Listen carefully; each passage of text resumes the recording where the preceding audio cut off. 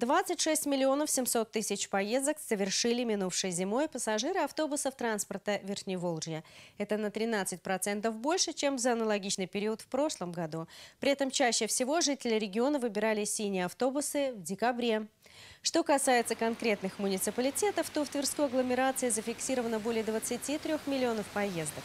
В Оржеве 1 миллион 799 тысяч, в Кимрах – миллион 300 тысяч, в Конакове – 534 тысячи, в Старице – около 58 тысяч, а в Зубцове – около 40 тысяч поездок. Стоит также отметить заметный рост безналичной оплаты за проезд. Например, в Твери ее доля составила 90,8%, а вот в Зубцове всего лишь 59,6%. Напомним, что купить билет в автобусах компании «Транспорт Верхневолжья» с недавних пор можно с помощью нового цифрового сервиса оплаты через Bluetooth, благодаря чему пассажирам не надо задерживаться у валидаторов.